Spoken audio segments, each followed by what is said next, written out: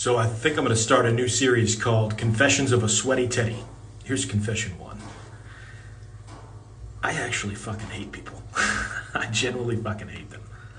Seriously. I almost find it like uh, like a game to like be able to like them.